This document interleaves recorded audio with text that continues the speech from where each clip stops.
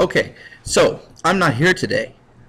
So I'm recording this little video, and it's going to talk about literature and whatnot. So, as you can see, we're talking about the literature of the Italian Renaissance.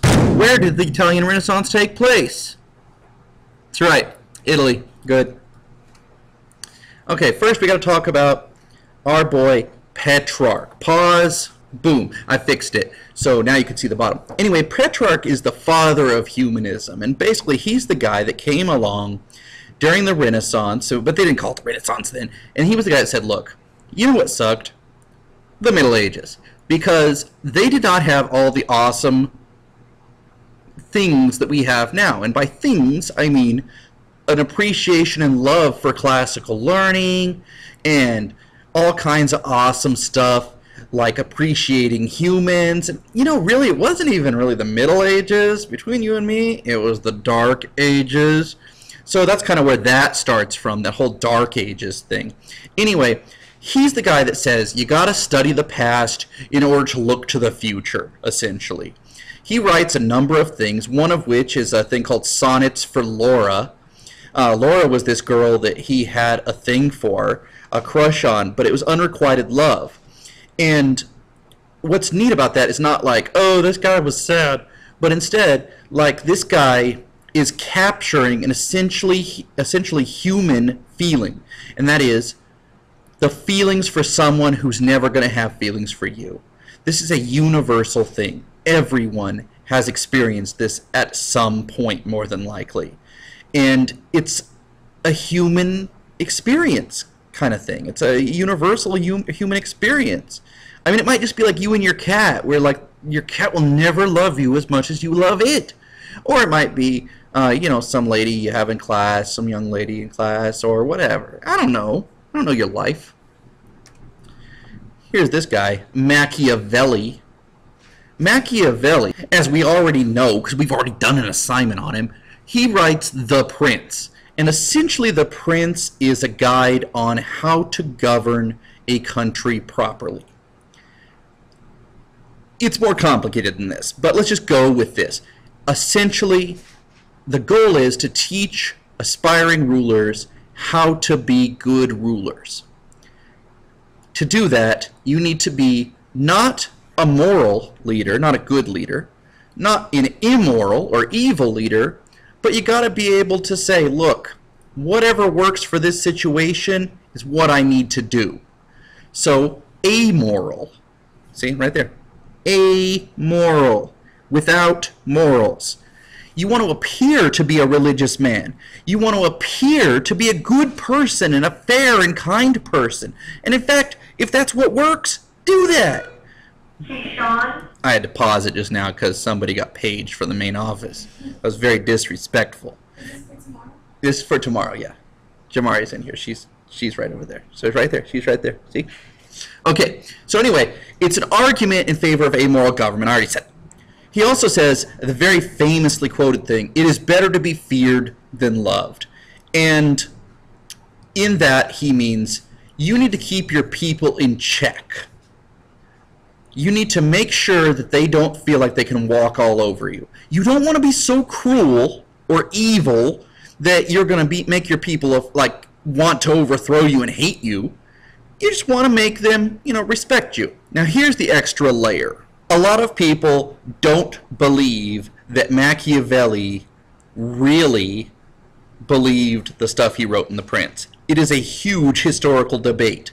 There are all kinds of nerds online arguing about this at any given time. And the reason is, is because Machiavelli is essentially a Republican. You mean like Donald Trump? No, not like Donald Trump, although, well, I guess they'd agree on this one, that people should be able to vote. So yeah, like Donald Trump, but not like a Republican like the political party. I mean like a Republican like somebody who wanted a republic. Because you might recall, other Italian city-states had republics. So, Machiavelli, in writing The Prince, probably didn't really mean what he was saying.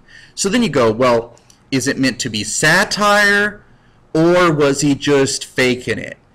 I personally, because I am also a history nerd, have an opinion on this that he is trying to get in good with the rulers. He's lost his job. He wants a job to be an advisor, and he's like, "Look what I can do! I wrote a book."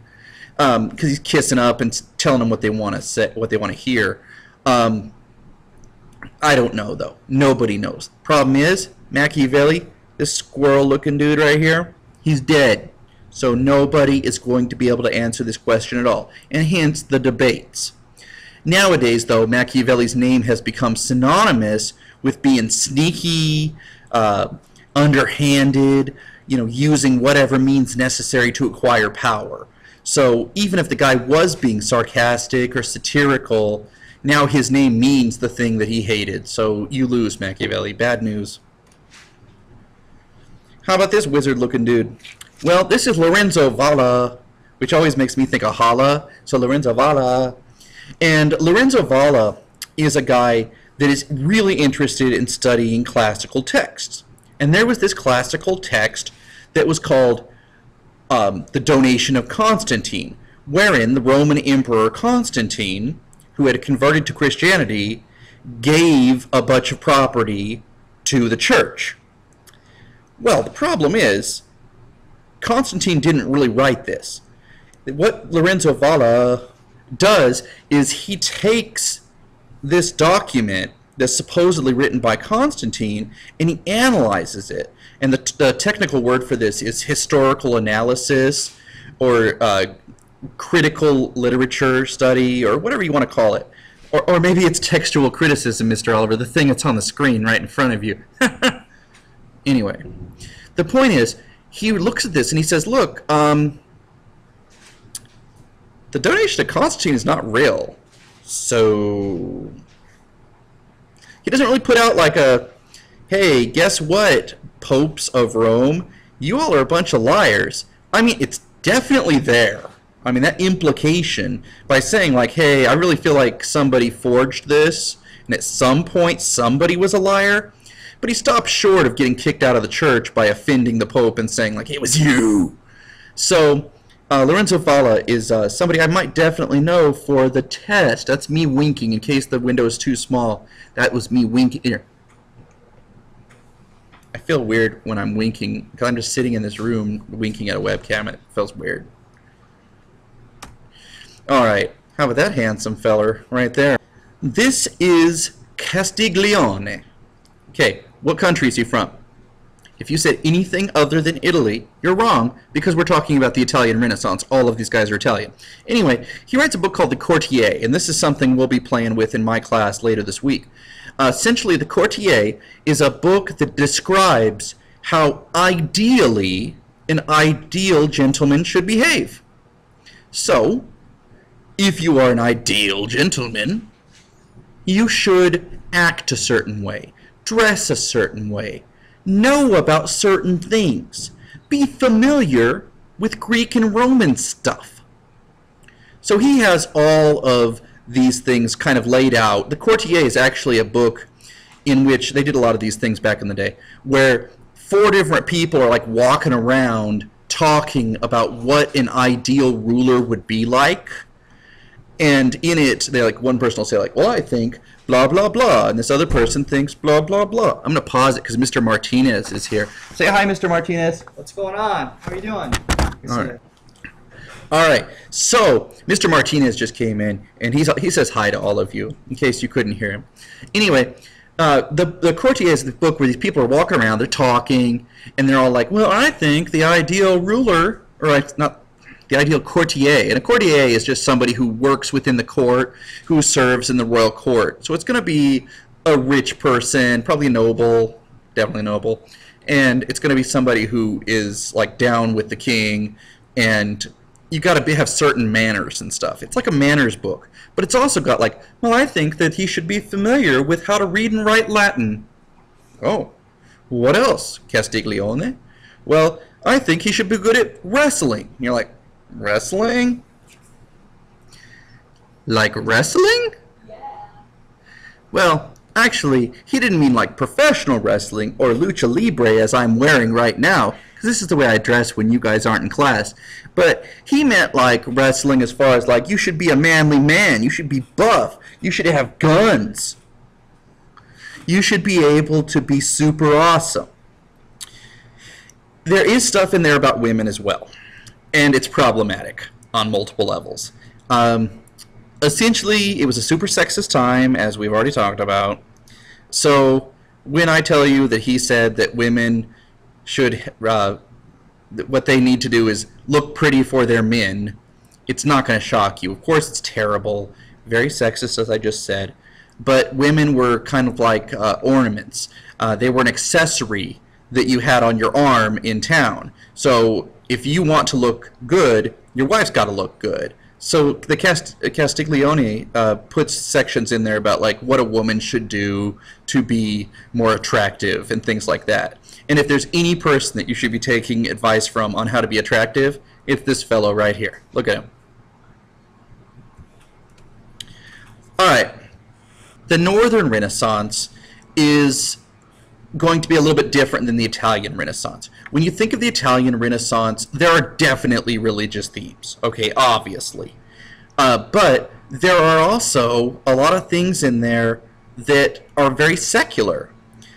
The Northern Renaissance is going to have some secular stuff, especially in subject matter of paintings, uh, but you're going to have a lot of literature, at least, that is not so secular, that's very much about education and reform, especially education on Christian ideals and the Bible and about reform of the Christian church. So, let's take a look at this guy, Tommy Moore. Thomas More writes a book called Utopia. And in it, this book says, this is a perfect world, because that's one of the meanings of the word utopia, a perfect world. But it also means something else, which is kind of like a sad kind of thing. And that is, it means nowhere.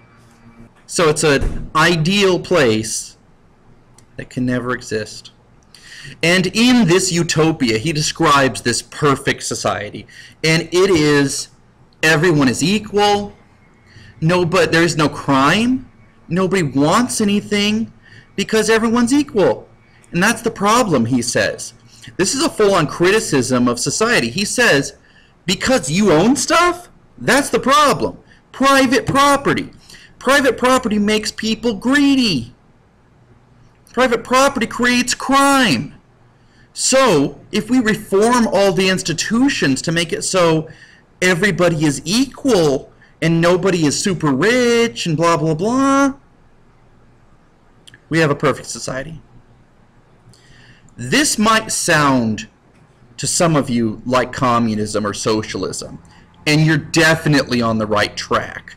But it's awfully early because Thomas More is writing in the 1500s, whereas Karl Marx and the socialists are in the 19th century, uh, the 1800s. So you could, if you want to be fancy, so fancy, that you, you could call Thomas More a proto-socialist, an early version of a socialist.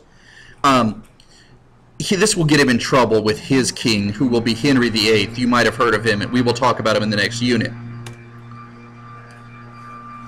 Okay, I hope you guys can still hear me. They're doing all kinds of yard work outside, and it appears that they are actually like attacking and weed whacking and stuff right outside my door. So we're just going to pretend like I'm under siege. So anyway, Desiderius Erasmus, ladies, there he is. Um, he writes in praise of folly. This guy is a super religious monk that criticizes the Catholic Church, and you're all like,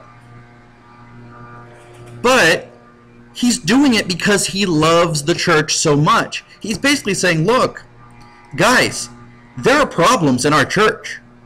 I know, right? Problems. And some of these problems are really bad. I mean, like, some people don't take priests seriously in town, and that's because some of them act really inappropriately. Some of them are getting drunk and visiting ladies who get to know them for a fee, if you know what I mean, and I think you do. And um, we need to stop with that nonsense. Now, he's not anti Catholic by any means, he's a critic from within. Later on, we're going to have people who are really, really going to criticize the Catholic Church, and it's going to create a split within the Catholic Church. even more serious than the Great Schism, uh, where there was multiple popes. That was just a political thing for all intents and purposes. Uh, Martin Luther, it's going to come along in 1517, or chapter 13 in your book, and he is going to straight up say, like, yo, guys, Pope's not being real. And he's going to end up tearing the church apart and creating the Protestant religion. But more on that when we get to it. So I want to take a look at this, um, an excerpt from In Praise of Folly. Uh, it says, And next co- these come that come those that commonly call themselves the religious and monks, religious and monks, most false in both titles, when a great when both a great part of them are farthest from religion, and no men swarm thicker in all places than themselves. Nor can I think of anything that could be more miserable, did not I support them so many several ways. Okay, so he's saying like there are a lot of people who claim to be good people, claim to be religious people, but they fake. They're not real about it. And he says when they swarm thicker in play, all places, there's they're all over the place. They're everywhere. All these snakes. And the thing is, saddest thing, I supported them, man. In many ways, I support him all the time. He's a monk, so he's saying, look, there's all these fakes here. I'm a I'm the real deal, but there's so many fakes around me. So people think we're all on the same team. That's terrible. Okay, continuing. For whereas all men detest them to the height that they take it for ill luck to meet one of them by chance, for first, they reckon it one of the main points of piety if they are so illiterate that they can't so much as read, and yet, like peasant fellows with all this vileness, ignorance, rudeness, and impudence, they represent to us, so they or for so they call it, the lives of the apostles. If nothing else, by the way, take my poor reading of that excerpt as Mr. Oliver also has trouble reading things from the past, even when he's read it many times before. So what that basically meant, the second part, was uh, people hate to run into these monks and priests who often are showing up to collect taxes for the church or a voluntary tax, if you know what I'm saying. Um, and he's saying these guys often can't read, they behave poorly, and then they say these ignorant fellows who are supposed to be experts on the lives of Christ, they say like, uh, yeah, yeah, we are terrible people, but we're saying if you want to be like the apostles that followed Jesus, that's us. And Desiderius Erasmus is saying like, this is the worst. Education in the church, education in what the Bible actually is all about, is what people need. So they understand that this is not legit. That you know, these guys are making me and the faith look bad. All right. How about Montaigne? Montaigne, de Montaigne develops the essay. So you're like, yes, we love writing essays.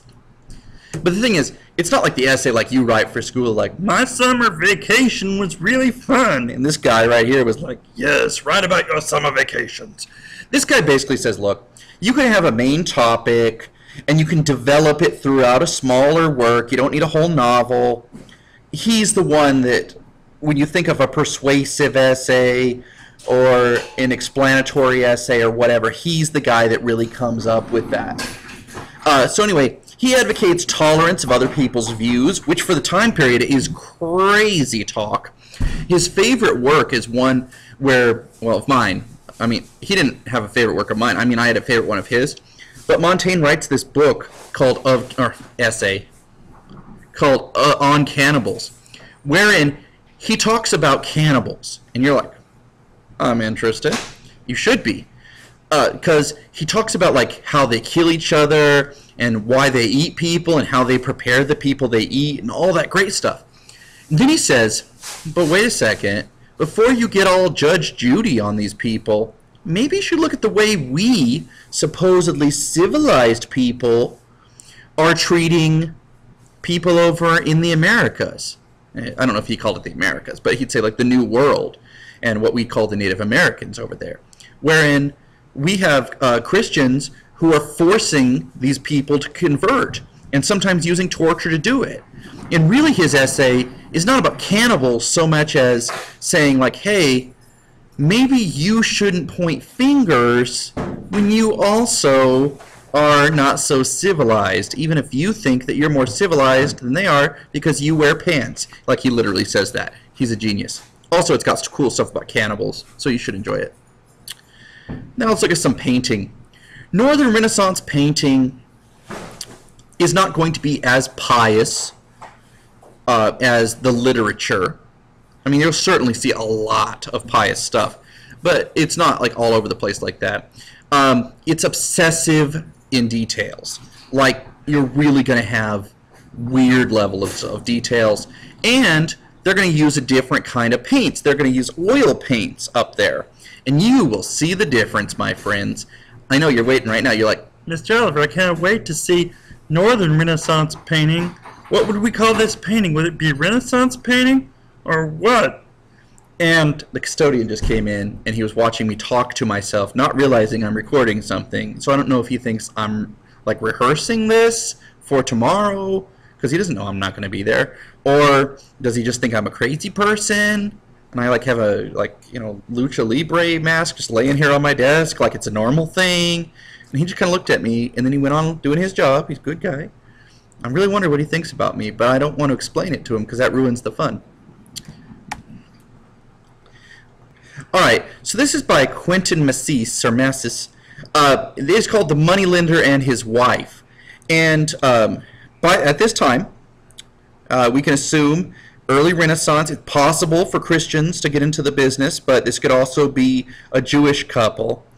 The crazy thing about this is look at all of the detail. And I know you look at it first and you're just like, oh, okay, there's a guy and he's got like money or something, and there's a lady. But when you get into the details, like look at this. This is like this onyx style stone. Not onyx like the Pokemon. This is onyx like the stone. And look at the book here. This little tiny stone has a reflection with heavy levels of detail. Over here, you've got a book with writing that if you had a magnifying glass, you would be able to read and a picture here. And look, every page is gold leaf and all that. Consider for a moment how small that is. If it's me, I'm lazy. I'd be like, blah, blah, blah. They're like, Quentin Massys is like, dude, I have to have extreme levels of detail. Got all this detail on the back. Look there. Look at the, the coins. Look at the coins here. You can tell what kind of coins they are if you're into that kind of thing. He's counting them and weighing them. He's got rings. He got pearls. He got like a little, like, I think there's a thing for tobacco over here.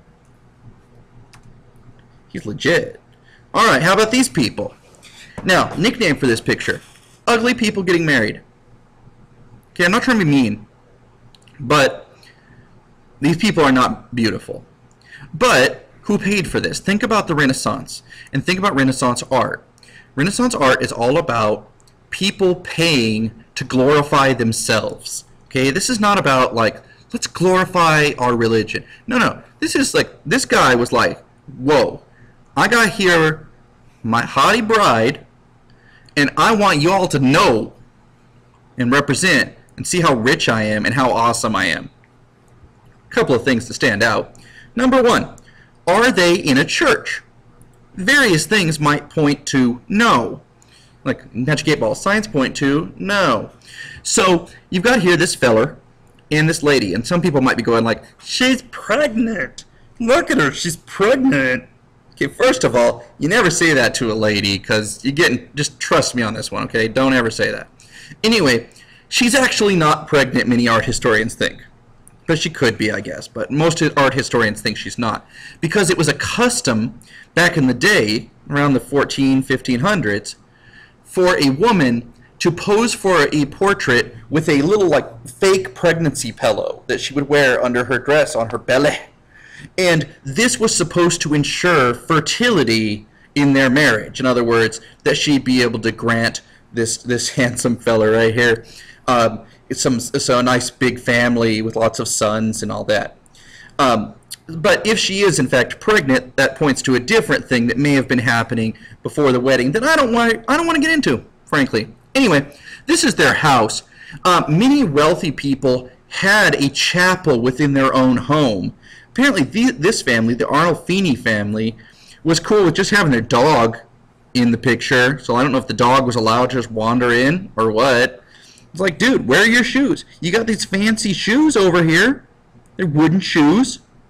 Mr. Oliver, wooden shoes. Stereotypes of wooden shoes make me think of Dutch people. Boom! You got that right because Dutch people, Jan van Eyck, Northern Renaissance. This is a Dutch painting. What about the levels of detail here? Okay, for context, we're going to look at a close-up of this area right here, okay? Very small in the picture. Almost impossible to see if you're just standing there looking at the picture without a magnifying glass. Here, however, is a magnified version. This is like on the TV shows where they're like, enhance. Mm. Right, here, I'll do it. Uh, can you get me this uh, picture back here? Can you um, zoom on that and uh, sharpen it? Okay, check it. You have this mirror, which has uh, stations of the cross or something like that. Okay, so this is like a fancy mirror. And it shows the back of the people who are getting married, as you'd expect, right? It's a mirror. But also the guy that's painting them. Jan van Eyck did a self-portrait of himself painting the portrait. That's awesome. And then he goes, right here, he signs the painting by having it be a signature that says, Jan van Eyck was here.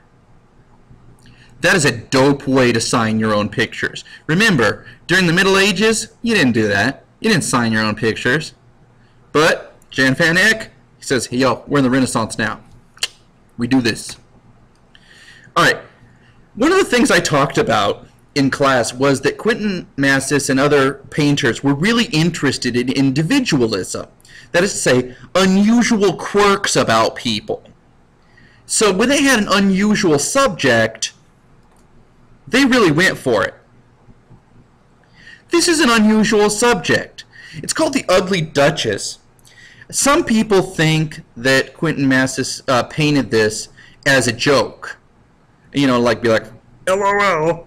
But other people think that it was a very rare disorder that they uh, put in here as like a, all right, you know, hey, that's certainly unusual.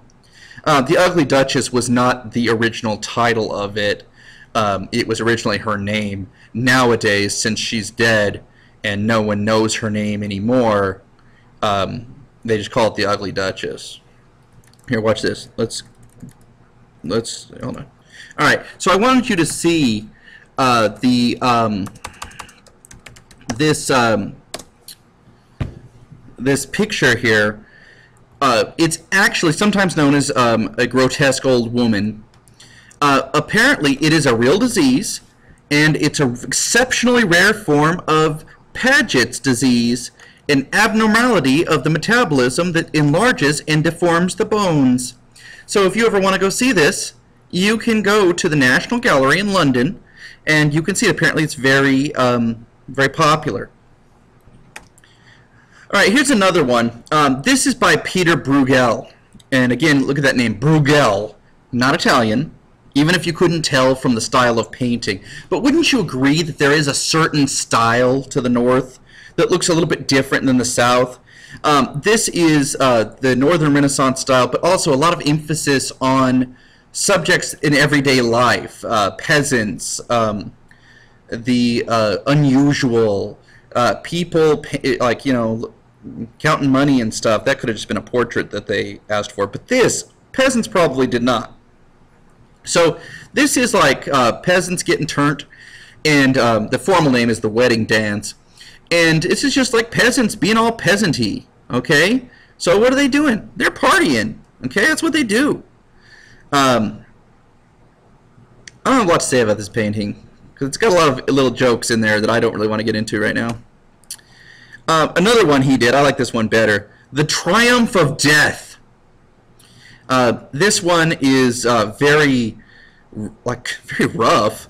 What is going on in this picture? Well, you've got skeletons with a cart of bones You've got armies coming by, armies over here, dead people, people being hanged. That's correct, by the way. Um, dead people all around, cities being terrorized. Couldn't that kind of discuss like what it's like to live in a time of the Black Death and the Hundred Years' War both? I think that's really what he's trying to do there. All right, that's all over and out. Um, I want you guys to um, have all these notes. You will turn these in. And uh, tomorrow we're going to talk about Castiglione. Have a nice day. Bye bye.